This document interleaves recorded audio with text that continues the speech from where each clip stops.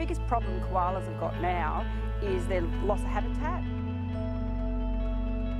So what we're trying to do is create a corridor on the western edge of town, taking them west into more open area, away from cars, houses, dogs. The ideal thing is to get all these properties linking together and where we can't link them, we have stepping stones to get across.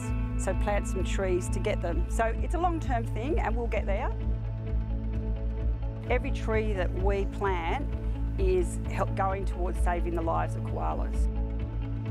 Companies like Koala that are helping people like us and landholders and community groups actually achieve what we're trying to do is the only way that we can achieve our goals.